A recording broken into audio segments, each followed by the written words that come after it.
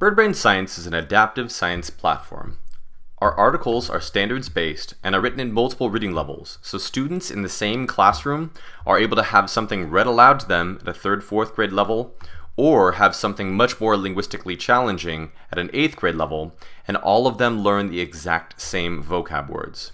This means that students in a classroom that are reading at an eighth grade level, fifth grade level, and third, fourth grade level can all read and learn independently.